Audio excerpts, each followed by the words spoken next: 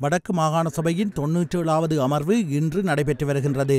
கைதடியில் அமைந்துள்ள வடக்கு மாகாண சபையின் கட்டிடத்தில் அவைத்தலைவர் சி. வி. கே. சிவஞானம் தலைமையில் நடைபெறும் இந்த அமர்வில் நகை அடகு பிடிப்பவர்களுக்கான நியதிச் சட்டம் குறித்த குழுநிலை விவாதம் நடைபெற்று வருவதாக அங்கிருக்கும் எமது செய்தியாளர் தெரிவித்தார். பதினேழாம் ஆண்டுக்கான குறை நிரப்பு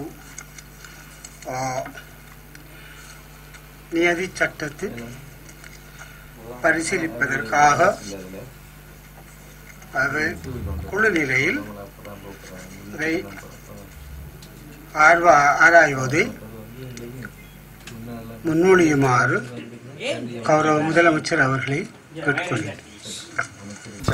ரெண்டாயிரத்தி பதினேழாம் ஆண்டின் குறிப்பிட்ட அதற்கு குறித்தொதுக்கப்படும் படும் இலக்கத்தை கொண்டு ஏற்றுக்கொள்ளப்பட வேண்டும் என்று அதனை இந்த சபை ஏற்றுக்கொள்ளப்பட வேண்டும் ஏற்றுக்கொள்ள வேண்டும் என்று பிரேரிக்கின்றேன்.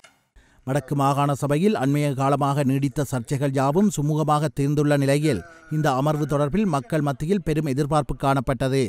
குறிப்பாக முதலமைச்சர் விக்னேஸ்வரனுக்கு எதிரான நம்பிக்கையில்லா பிரேரணையை ஆளுநரிடம் கையளித்த சம்பவத்தில் அவைத் தலைவரும் சம்பந்தப்பட்டிருந்த நிலையில் இன்றைய தினம் அது குறித்து விவாதிக்கப்படும் என எதிர்பார்க்கப்பட்டது.